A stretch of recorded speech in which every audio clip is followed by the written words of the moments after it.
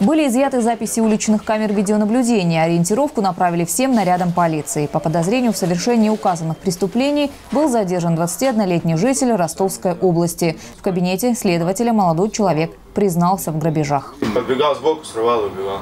Сколько раз ты совершил такие грабежи?